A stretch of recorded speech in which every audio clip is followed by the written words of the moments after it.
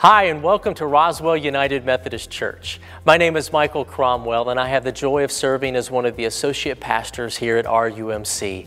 Thanks for joining us for our on demand version of the sermon, which will be delivered later today.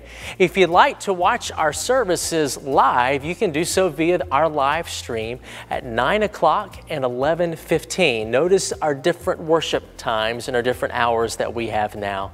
You'll also be able to see the entire worship service on demand later this afternoon at rumc.com slash sermons. We are so glad that you are with us today. We're thankful for your presence and we're thankful for your generosity and the different ways that you are helping to make RUMC a place of community and faith. Let's have a word of prayer before we hear our sermon. Gracious and loving God, we love you so much and we are grateful for this day and this day that we have to worship you. May the words that we are to hear, may they not only pierce our ears, but pierce our hearts as well, that we might be changed and different people because of what you have to say to us today. We thank you and we love you. All in Christ's name we pray. Amen. Now let's hear our sermon from today.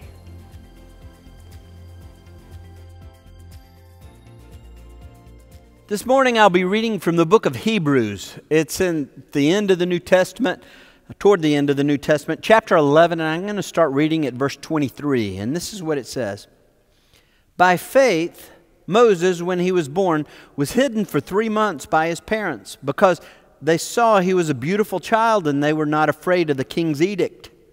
By faith, Moses, when he had grown up, refused to be called the son of Pharaoh's daughter choosing rather to endure ill treatment with the people of God than to enjoy the passing pleasures of sin. Pray with me. Lord, this day is your day. May we never, ever take it for granted, but use your presence among us as something that might bring new life starting now. It's in Christ's name we pray. Amen. If you've been an Atlanta Braves fan for a while, you know the name Brett Butler. Brett Butler was, um, years ago, showed great promise in the Braves system. He came up through the, the minor leagues, and, and the Braves did what they often did during those days. Whenever somebody showed great promise, he was traded to another team where he became a superstar. And that's usually what the Braves did when somebody showed great promise. But he wasn't always one that he looked like a superstar, not by a long shot. Brett Butler was 5'9 and weighed 156 pounds. When he graduated from high school, there wasn't a Division I college that offered him a scholarship. He went to a small school, an NAIA school. There he twice became college All American in baseball in the, in the small schools. But when he graduated from college, his coach told him that he was too small to play pro ball. Well, he went for it anyway. He was drafted in the 23rd round. Now, if someone's drafted in the 23rd round, they'll be lucky to play one year of big league baseball. But Brett Butler didn't just play one year in the majors, he played 16 years in the majors. And 12 of those years, he stole over 30 bases. Well, it's a milestone to steal 20 bases in a year. But he stole over 30 bases for 12 seasons. Many people would consider him the best leadoff batter ever in baseball, best bunter ever in baseball. But he was an underdog. He was an underdog. That wasn't what anybody expected.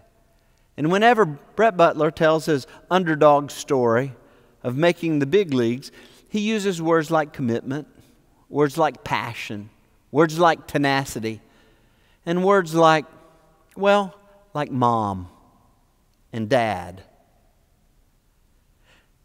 That they're, they were the ones that were behind him saying, You can do it, giving him encouragement all along the way. I love those underdog stories. And my hunch is you love them too. Back during Jesus' day, they told underdog stories. Well, they weren't Brett Butler stories, they were Moses' stories. It was Moses who was Well, Moses was born a slave, and you don't get much more underdog than that. He was born a slave at a time when Pharaoh had sent out an edict to all of the midwives saying that they were to kill the boy babies as soon as they were born. Well, the Bible tells us that the midwives were more afraid of God than they were of Pharaoh, so they didn't do it. Well, Moses, uh, Pharaoh called all the midwives to himself and, and said, Well, why are there so many boy babies? And the midwife said, Well, these Hebrew women, they're just so strong. They have the baby before we get there. So Pharaoh sent out a second edict. The second edict said that all the boy babies that were born in Egypt were to be thrown into the Nile River. Well, it was Moses' parents, his mother, Jochebed, who refused to obey the edict. That what, that's what it tells us this morning. That it was, it was Moses' mother that made for him a, a, a basket and covered it with tar. And she kept him there at the, the Nile River in hopes that when Pharaoh's daughter came down to take a bath, that she would see Moses and, and take Moses as her own child. And the way the plan went, when she needed a nurse, that, that it would be Jochebed, Moses' real mother, would secretly be the nurse that was to help Moses and to help him grow up and risk of her own life. Well, that's the way it went. So it tells us this morning in Hebrews that when Moses grew to be an adult, he had two mothers. Pharaoh's daughter, who had given him power, had given him a palace, given him prestige, but that's not the mother that Moses chose. That Moses chose the mother that gave him the things that matter most. The things that matter most. And that's what I want to talk about this morning. The things that matter most. And the first thing that I want to talk about of the things that, that Jochebed gave Moses, the things that matter most is time. Time. Philip Zimbardo, in his book Time Paradox, says that the most used noun in the English language is the word time. And words that are associated with, with time. Well, we use language to express those things that we value most. So I began to look through the, the Bible. And the word time is in every single book of the Bible. It's because time is among those things that we value most. Sometimes people say, well, no money. People, you know, that's often put as the, the highest value of, you know, especially when somebody's talking about others. But no, people will pay great sums of money in order to, to pay someone to take care of their yard, to take care of their house, to help them with their family, in order to what? Save time. People pay money for a peach pass to drive in that, that special lane, not just because they like the special lane, but in order to save time, to get home quicker, to get to work quicker. We call it fast food, not because it's delicious. We call it fast food because it's fast, it saves time. Certainly not because it's healthy, it's because it saves time. Case could be made easily, I think, that, that time, time is what we value most. And most often, that if someone's to experience love, it's going to be through the gift of time. And that was the gift. That was the gift that, that Jochebed gave Moses. She gave her time, her life to him to help, to, to help raise him. Time. Time. Diane Loomans and her, her wrote a little poem called Full Esteem Ahead. In this little poem, she said, If I had my child to raise all over again, I'd, paint, I'd finger paint more and point the finger less. I'd do less correcting and more connecting. I'd take my eyes off my watch and watch with my eyes. I would care to know less and know to care more. I'd take more hikes and fly more kites.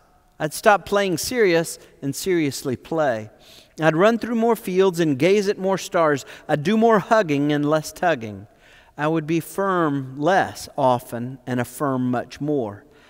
I'd build self esteem first and the house later. I'd teach less about the love of power and more about the power of love. The power of love is most often expressed through time, and it's most often experienced through time as well. Whether it's time to a child or a grandchild, time to a husband or a wife, or time to God. This pandemic, it's been, it's been difficult in a lot of ways. But one of the things that it's, it's caused all of us to do is to take inventory of our time and the way that we, we spend time, the way that we value time. And as we're coming out of this pandemic, let's don't lose that gift of reevaluating where we put our time, where we place our time. Let's don't get, get caught up in, in giving our time to first thing, first, first come, first serve. Because our time will be taken and taken from us with, with noise and busyness and hurry. It's a gift. It's a gift. The gift of time. May we offer it to those that we value most the child, the grandchild, the husband, the wife. May we offer that time to God in these days to come. It's among the things that, that matter most time. But the second thing that I want to talk about is, is Jochebed gave Moses sacrificial love. It's among the things that, that matter most this year, we, Georgia lost one of the, the most dearly loved and respected citizens. Hank Aaron died this year. And folks don't have to be baseball fans at all to know that Hank Aaron broke Babe Ruth's home run record. Babe Ruth's record held for 40 years. That's a long time for any record to hold. And in 1973, it was a tumultuous time. And it looked like 73 was going to be the year that, that Hank Aaron was going to break Babe Ruth's record. That year, Hank Aaron received nine, over 930,000 pieces of mail. And most of that mail was positive. But about 100,000 of those pieces of mail, well, it was hate mail. And of that 100,000 pieces of hate mail, there was a portion of it contained death threats for Hank Aaron and for his family. There were some people that didn't want an African American man to, to break Babe Ruth's record. And so people kind of held their breath with, with every home run. And, and all the way to the end of the 1973 season, they thought that he was going to break his home run record, but that's not what happened. He tied Babe Ruth's home run record in 1973. It wasn't until opening day of 1974 that Hank Aaron broke Babe Ruth's record. And I don't know if you remember or if you've seen video of it. Two young men jumped the, the fence and ran onto the field. Well, everybody held their breath to see what would happen, and they began to, to run the bases with, with Hank Aaron after his home run and pat him on the back. Well, that was shortly before security tackled them and hauled them off to jail. And Hank Aaron ran second, third base and came home. The, the whole of the Braves dugout un, unloaded and crowded around the home plate as Hank Aaron crossed home plate. The, the whole of the dugout plus one. Hank Aaron's mother was there. She tugged at his arm, and Hank Aaron looked down at his mother and said, Mama, what are you doing here? She said, Baby, if they're going to get you, they got to get me first. That's sacrificial love. A love that doesn't do what's easiest, a love that doesn't do what's most convenient, a love that does do what's best for the other a love that does do what's best for the other. And that's the love that, that Jochebed had for Moses. A love that, that gave her life. Her life. Well, that's the love that Jesus has for you and for me. It's among the things that matter most. It was there on the cross that Jesus didn't do what was easiest, He didn't do what's most convenient. He did exactly what you and I needed. He took all those things that would destroy us, He took the fear, He took the sin, He took the shame. And he took it on himself and he, he nailed it to the cross to take away its power once and for all. And when he rose from the grave, he gave that power to you and to me because that's our greatest need.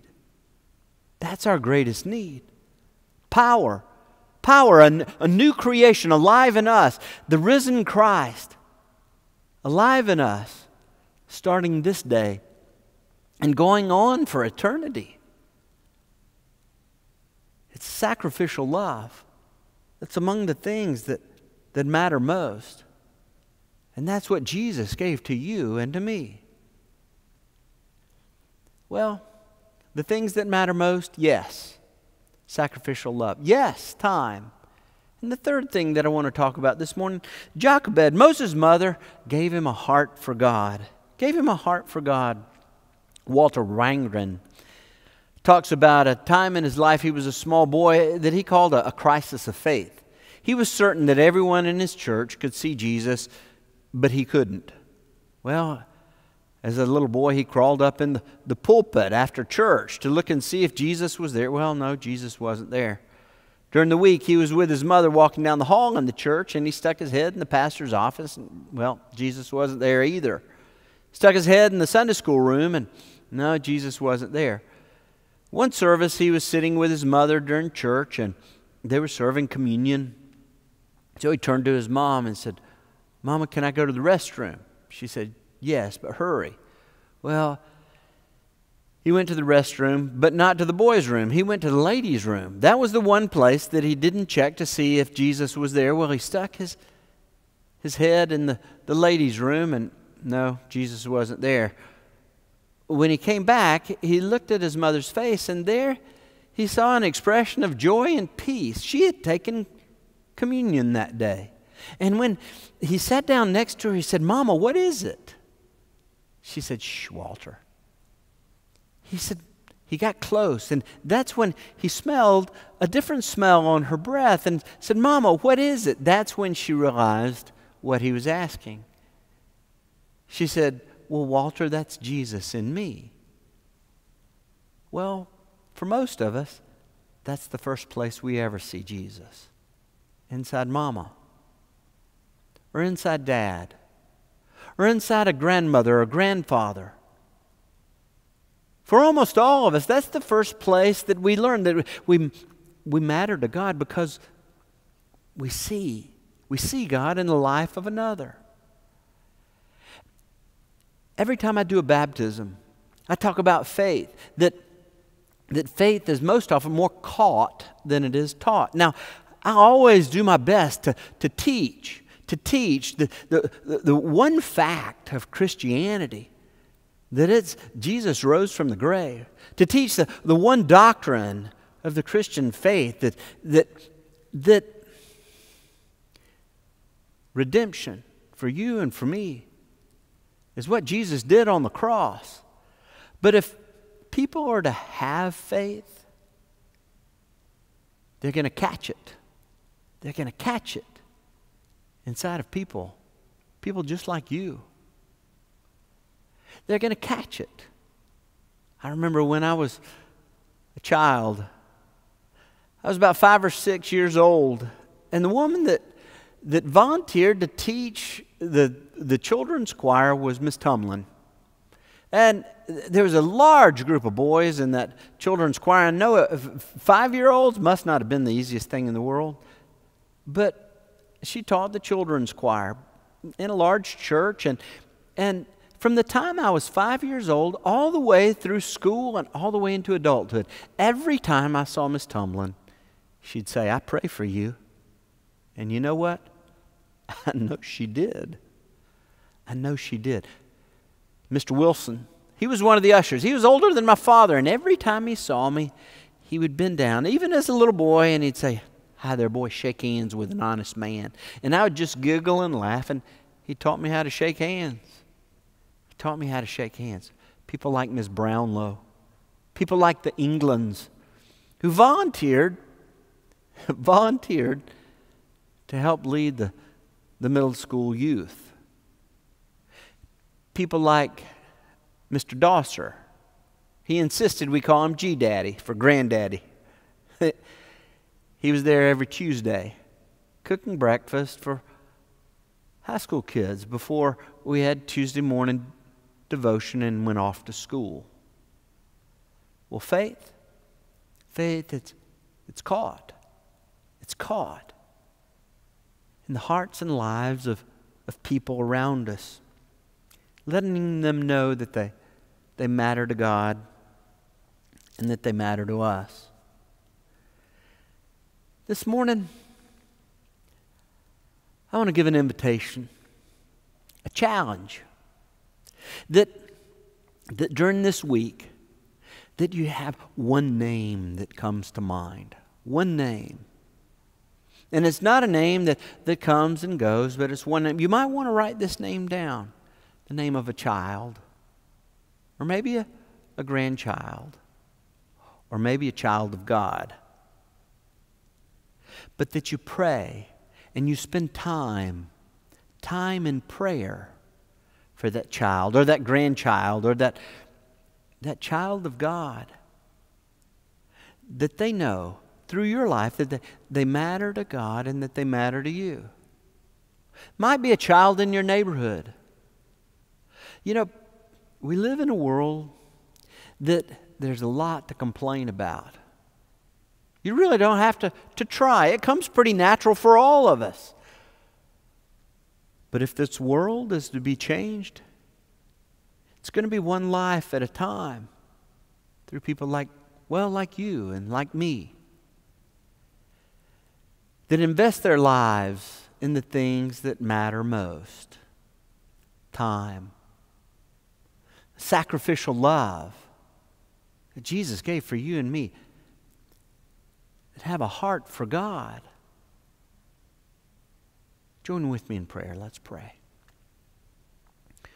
Lord Jesus, grant us this day, this day, starting right now, here in this prayer, to set aside a time, a time every day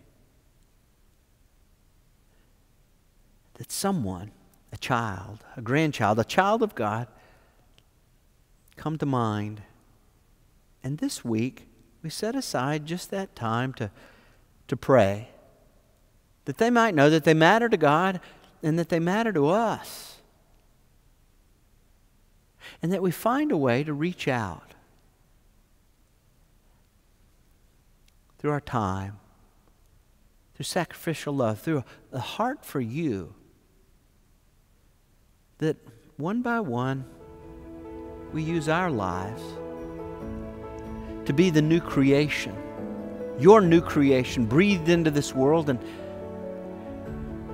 and that one by one this world began to, to change for you. Hope has a name. That name is Jesus. And this day we come to give you thanks. It's in Christ's name we pray. Amen. Thanks again for joining us today. Um, just a reminder, if you'd like to watch the entire worship service, you can do so via live stream at 9 o'clock and 11.15 a.m. You can also view the service on demand a little bit later this afternoon at rumc.com slash sermons. Also, if you have any prayer requests, we would love to hear about those. You can send those in to pray at rumc.com. Also, if you'd like to give of your tithes and your offerings, you can do that online as well. And that's at rumc.com slash giving. Uh, thanks again for joining us today and for honoring God with your presence. We hope and pray that you have a wonderful week, and we look forward to seeing you again next week.